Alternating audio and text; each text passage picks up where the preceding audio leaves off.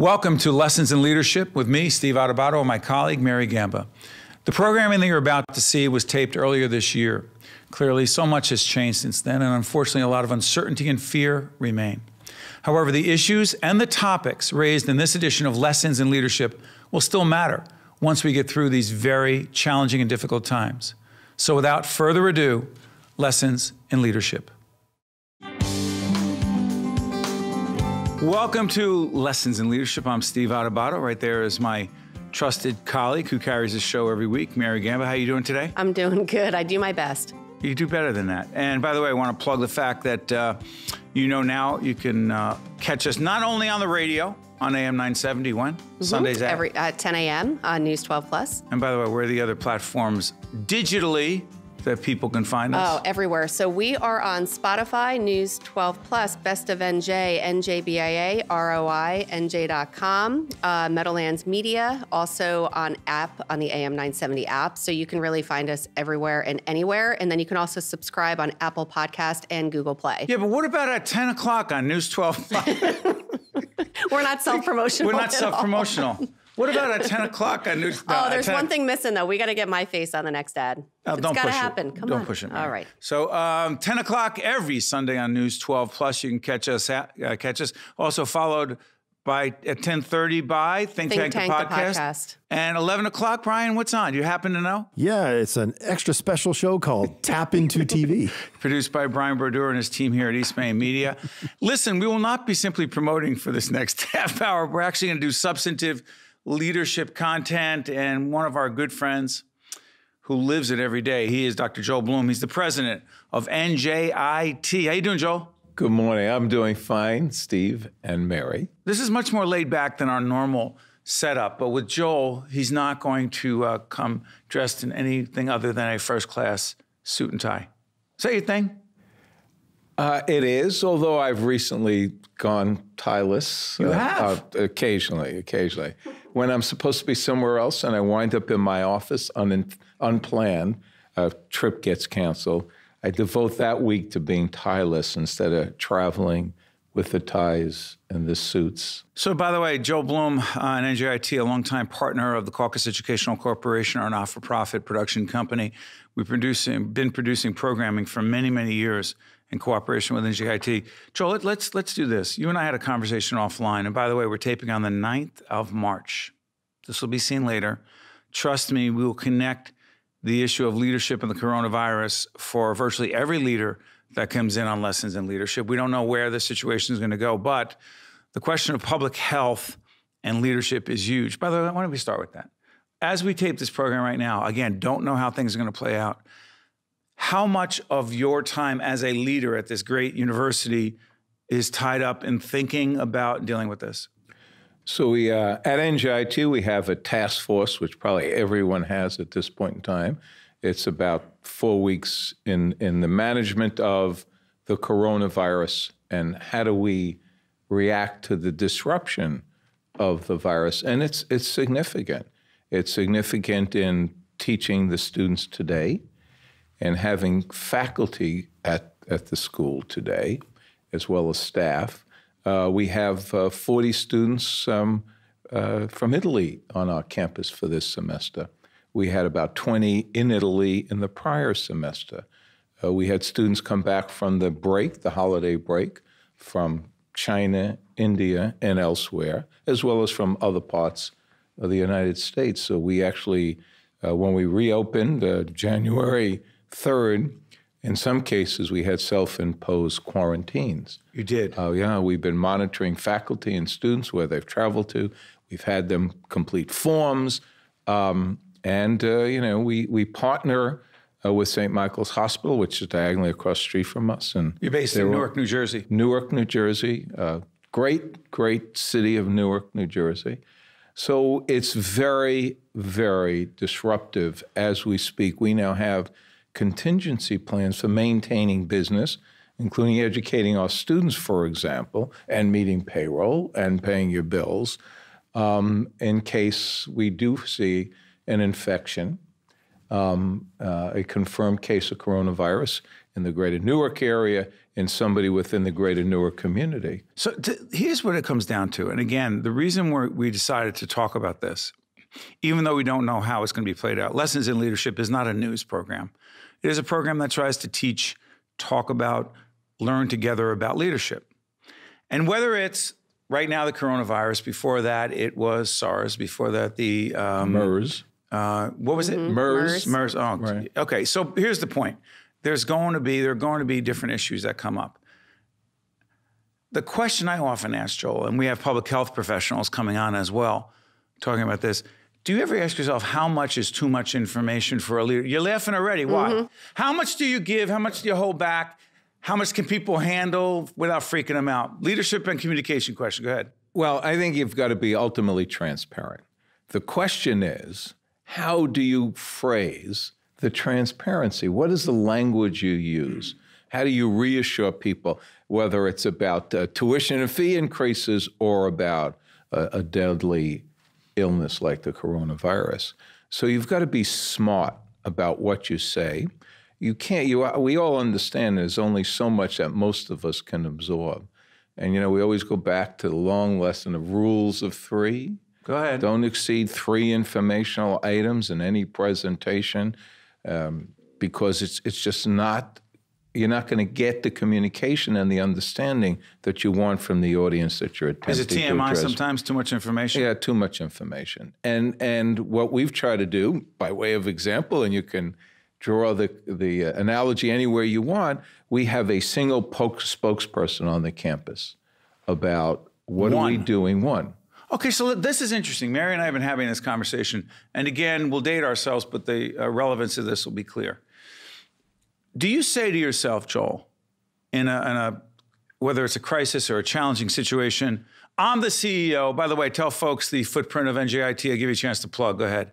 The, the footprint of NJIT today, we are uh, nearly 12,000 students. We're an Our Research One university. There's only two others in the state. We're 131 in the nation. Uh, most importantly, and we're a U.S. News and World 100 top 100 universities Stop in the country. Joel. Go ahead. Um, most importantly, though, and this is what's critically important, we are number one in the nation, Forbes magazine, for educating young men and women who come in lowest socioeconomic uh, monies from their families, uh, 10 years into employment, and they're in the highest quintiles of earnings. Number one in the nation for multiple years now. So that's who our students are. And uh, first and foremost, in communicating anything, well, you have to know who you're communicating to, and your student population is critical. By the way, uh, while Joel is bragging about NJIT, I think it's okay. It's in a good way. Do you know that uh, Lessons in Leadership with Steve Adubato and Mary Gamba was picked as the number one leadership podcast in the world? Do you know that, Mary? By you? Yeah, by me. Again, again. I looked at all the Again. others. By the way, take a look over Joel's right shoulder. Can we see Oh that Oh my shot? goodness. That's Isn't that amazing? Wow, what a Not the sign. coincidence. Oh, I'm sorry. The book. That's my left shoulder. Uh, yes. Should I? Shall I point Stop. to Hey, it? stop. It's, it's embarrassing. Stop. Okay. Pointing to it again. No, I'm Joel. Go back to the question I asked. So, in a crisis, in a challenging situation, again, this is not going to be dated because it's relevant. I've often said to Mary, you know, I'm watching uh, President Trump dealing with a very difficult situation as our president, as a leader of the free world. And also, I said, you know what? I don't know if it should only be public health professionals, people who know that stuff really well. Um, or should it be the CEO who's out front? Do you say, I have to be out front because I'm the president of NJIT? Or do you delegate that to someone else? Uh, absolutely not. As the president, I should not be out front. Not? Not on this particular issue. I've got people who are uh, well informed, informed daily. Uh, they're on, uh, whether it's via any kind of messaging from the state, from the CDC. It's not something I can or should do. So, again, a task force, including health professionals, public safety, uh, people who are in touch with other expertise in the, in the field of health and, and health care. Um, so we uh, and we one one spokesperson, and it's somebody who is now consumed with monitoring the information, the local situation, the national, international situation. Again, we are in an international university. But I want to be clear no matter what goes wrong. Oh, um, okay, you as, as, as. Our, as our outstanding pre- former, former, former President Truman, the buck stops here. At the end of the day, I have need to make sure these folks are meeting, working, communicating. Uh, so yes, if you want somebody with a technical background, but not everyone with a technical background is a good communicator. So you need somebody with It's a an tec- understatement. But you, you need have- somebody with a technical background. Right, who but you have another challenge. You have your audience of students, but then you also have your audience of the parents of those students. Do you find that they're really because especially nowadays, I feel like, you know, being a parent myself, I feel like there's the helicopter phenomenon going on. Do you find that the parents are panicking and that you need to communicate differently to them than you would to the students who are really on campus? By the way, to clarify, Mary's got one um, son who's about to go off exactly. and one who's in the A middle of his high school yeah, career. Exactly, Good. a freshman in high school. So, So, it's fair to share Mm-hmm. that Mary fully briefed me about all of this earlier this morning, for which I, did. You can share. We, we engaged in the conversation, and and there's nothing wrong with helicopter parents. Let, let me be clear about that. Mm-hmm. Um, uh, parents, an investment in higher ed, whether you're coming to a public university like NJIT or you're at a private university paying sixty, seventy thousand dollars a year, the money is dear. Um, the the average is about a fifth of the income of the family income will go towards some form of higher education if the child is going on Right. to higher ed. That's significant. So the fact that they want to know, they want to know that their child is safe, is cared for, is getting an excellent education, is having a top quality experience, that's all on us. That's our responsibility. And you have to communicate directly I with have them. to communicate. We communicate with parents all the time.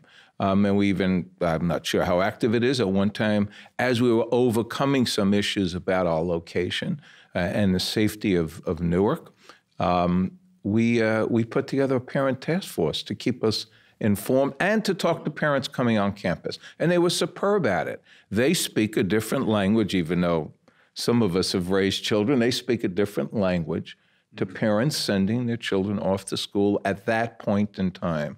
So, um, so yes, transparency, good communicator, uh, know know what you're communicating about, and never speculate. Never, don't hypothesize.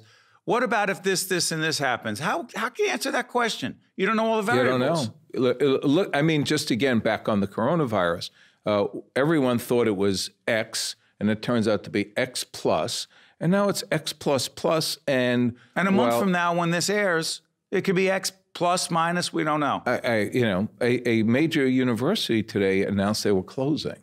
At Columbia University, I don't know if you picked up. Did not pick Happens No, to be my not see that. As we're outstanding, doing this program. outstanding alma mater. um, but they, yeah, they, they, they announced they were closing today um, because they have somebody on the campus who is affected uh, by the coronavirus. And again, you know, what is your business contingency plans? Yeah. Whether you're General Motors or you're NJIT, um, you have to have them. So we just about have them all in place. The idea that there's, you know, business continuation, Yeah. regardless of should uh, any of our stakeholders, whether it's the city or a child or a student coming to us, um, has is diagnosed with the virus. If you're listening on the audio side, you're listening to Dr. Joel Bloom, who's the president of NJIT, a longtime friend and partner of ours. Let's also disclose that Joel serves on the board of trustees of the Caucus Educational Corporation, our not for profit production company. Several years back, I actually started my uh, academic teaching career at NJIT in the School of Business there. Uh, Mary, let folks know where they can find our free articles, all really valuable information about leadership and communication. Go ahead. Sure. Stand-deliver.com is our website. And also, I'd like to take a moment to thank our sponsors who helped to make this all happen. Oh, really? Yeah, we have actually a nice group of sponsors. So we have Gibbons PC.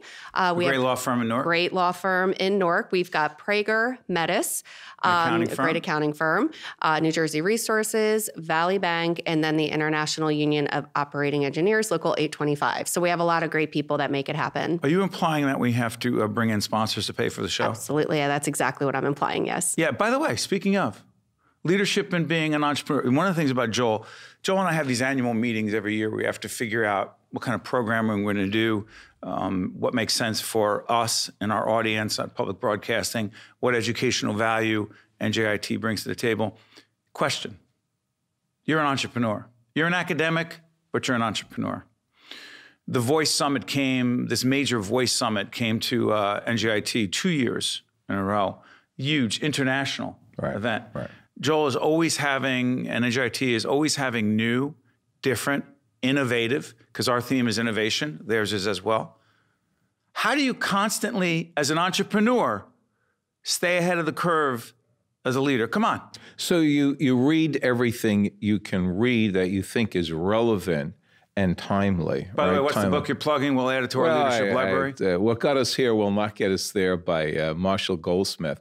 Um, uh, there's a lot out there. Uh, ahead. that happens to be one of them. I like the phrasing What- because say it again, what- what got us here will not get us there. Love it. Which, if you, we all know the institutions of higher ed are typically considered um, ivy towers, right? Ivory towers.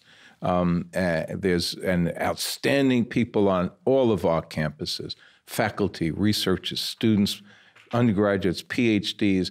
But at the end of the day, um, they are seen as being very traditional in a very, very fast moving, unbelievably fast moving uh, marketplace of technology, of knowledge, of uh, global and international relationships and competition. So, a university today, particularly a polytechnic university, because of the richness of, again, the, the knowledge of our faculty, the research that's going on, uh, we could talk a little about that, uh, about the equipment we have, about the students who are there. We have to capitalize on that. Yes, we must educate them. But there are, uh, and the worst thing we could do is educate them in some fixed model because we all don't learn the same way. The beauty of being a polytechnic university. what does polytechnic mean? Polytechnic means you're intensely science and technology. Okay. And that's what you do. Uh, you don't do other things, and there are great other areas, disciplines of knowledge that people should have, but that's not what we do. Um, and you've been, you've seen our makerspace, probably right. And we opened the second 10,000 square foot piece of it, it's now 20,000 square feet in incubators total. going on where people are developing initiatives and businesses. Go ahead. It's amazing, you know. I, you, it's an infection, the right kind of infection in this conversation about how our faculty and students think about innovation and entrepreneurship. It is an infection of entrepreneurship, of the application of science and technology, of young men and women just thinking about how do they solve problems.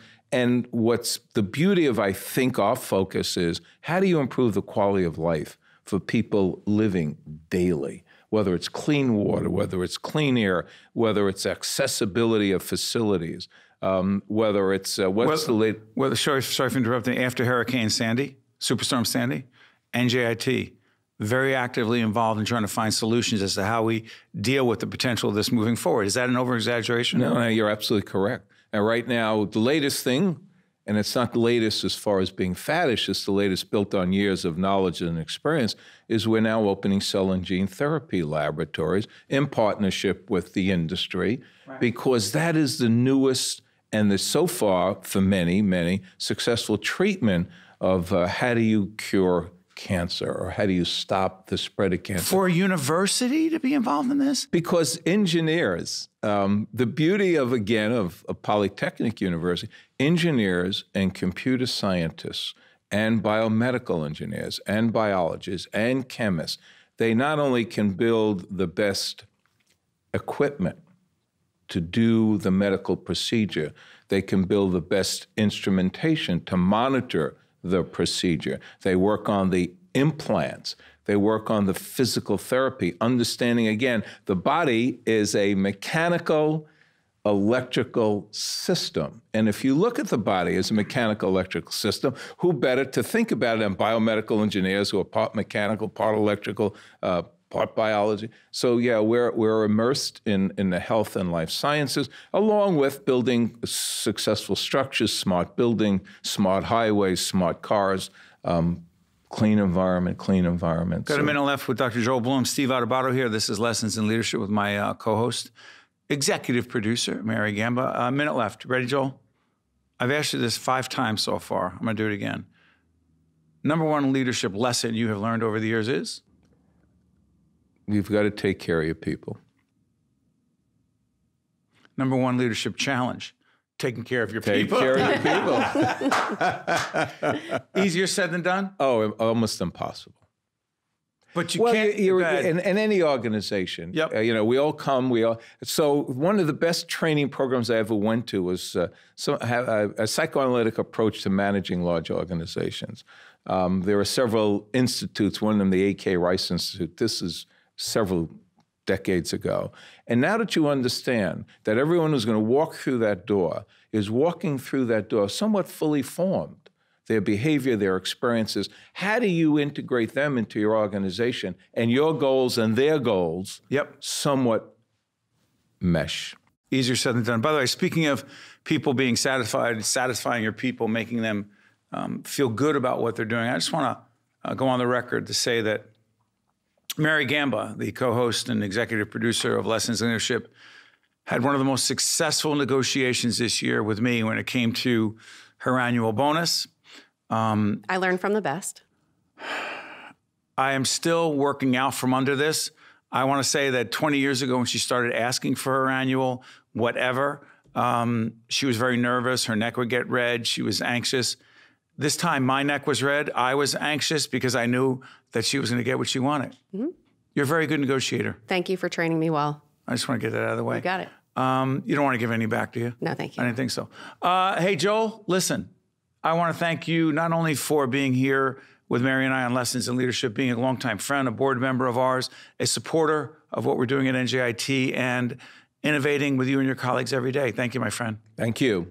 I'm Steve. That's Mary. That's Joel. We'll be right back on Lessons in Leadership right after this.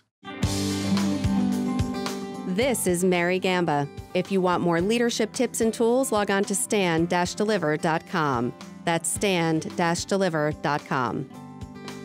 This edition of Lessons in Leadership is brought to you by Gibbons PC, Prager Metis, Valley Bank, New Jersey Resources, and the International Union of Operating Engineers, Local 825. Welcome back to Lessons in Leadership. I'm Steve Adubato with my colleague Mary Gamba. I want to thank Dr. Joel Bloom from NJIT for joining us on this edition of Lessons in Leadership. Mary, big picture. You and I talk a lot about crisis leadership, crisis communication. Uh, Mary and I spent about three or four years working on this book, which is not, again, our newest Lessons in Leadership. This is how many books ago? Three? Three, Three books, books ago. I believe so. Um, I'm not trying to brag that I have five books. I'm just trying to make a point. This is lessons, excuse me, what were they thinking? Crisis communication, the good, the bad, and the totally clueless. And by the way, this was written before social media was social media, meaning we wrote this book by doing case studies about how to handle a crisis, whether it's a public health crisis, coronavirus, doesn't matter what it is. But my sense is that the ability or the need to lead and communicate in a rapid but effective fashion in the age of social media.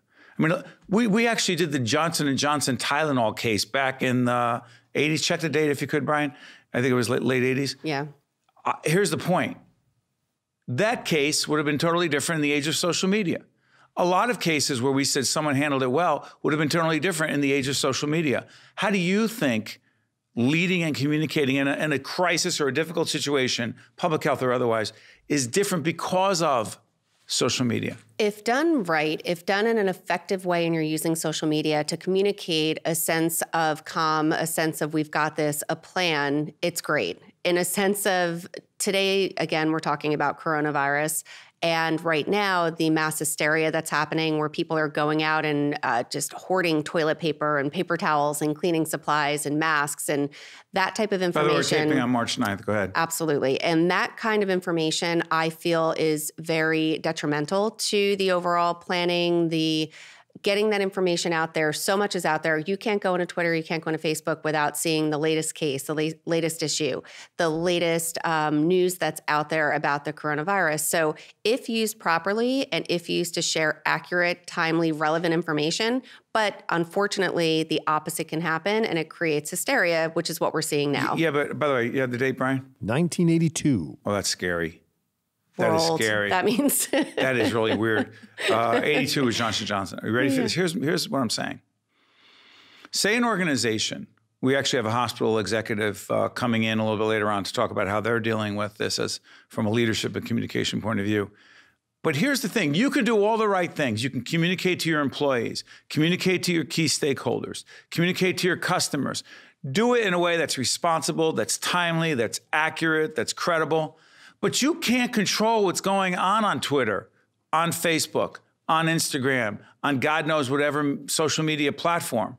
But that's the problem. That is that is what I'm saying. That the media, whether it's credible media or crazy media, they are taking this and they're running with it. Because well, how does it, excuse me, then how does it change the way you lead and communicate if, in fact, a leader of a corporation, organization, an institution of higher learning like Dr. Joel Bloom, they don't control that. They don't. Or do they have to react to it then? They need to react to it. They also need to be careful of what they're saying because what they are saying can be excerpt they, they can really take a smaller excerpt of what they're saying and then it could be twisted and manipulated by the media and the headline could read something as simple uh, as you know 50% of the population is going to get coronavirus when that's not really what they were saying. It could say 50% of the most vulnerable citizens 70 and over will get the coronavirus. But if they tweak it a little bit mm.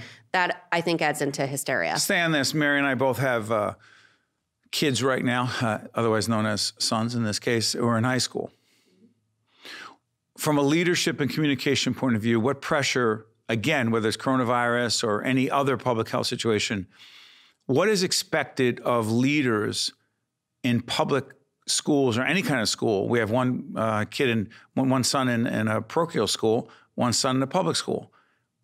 And it's different, by the way, because the rules are different, they're governed differently. But what are you looking for as a parent from the leaders of educational institutions in a public health crisis like sure. this? Sure. And it's it's really what I would be looking for in any type of crisis, but even with public health because you do feel that could impact your child, what I'm looking for is consistent communication. Uh, minute left. This is interesting. Uh, the president so far again, don't know how it's going to play out, wanted to be very optimistic from the beginning. He has said consistently that we're going to get this under control. We have it under control. We're doing this really great. We're perfect in where we're doing it. I don't care what your politics may be. Should a leader communicate in a very positive, hey, we got this, or worst case scenario or something in between? I think something in between. I think a leader cannot be up there and say that the sky is falling because they are looking for the leader to be confident and in control. And we don't need people panicking. Exactly. But Which you do want to you do want to acknowledge I am not a medical professional. If I were Donald Trump, I would say I'm not a medical professional. We have the best people on this. We will continue to keep you informed as this progresses. That's what you want. You want information, but you don't want false security either. Mm. You know what's so interesting as we close this show? This book, uh, What Were They Thinking? Which is not to be confused with Lessons in Leadership. Um, in many cases, I was very critical of CEOs who did not go out front, mm-hmm. who hid behind others in the organization. But when it comes to a public health situation, you want the experts who know best, who are closest to it. Especially when questions are involved. If yep. you have a reporter asking a question, Donald Trump can't answer, oh, how contagious is this? How long does it live on Nor surfaces? should he be expected to. Exactly. So he should back away. Back Sometimes away. leaders have to know enough.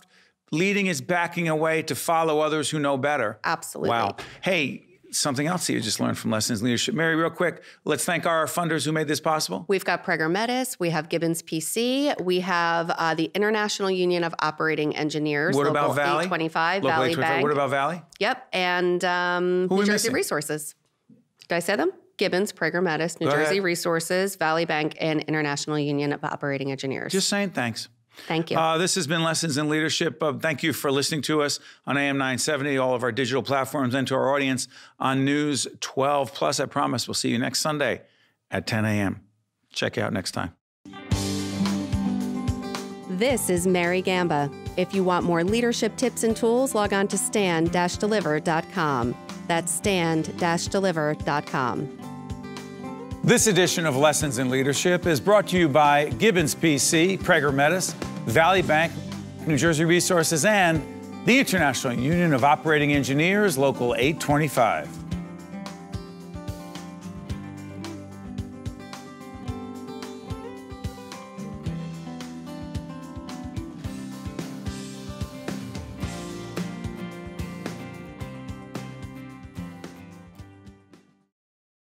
When I started working with children with autism over 25 years ago, my mission began.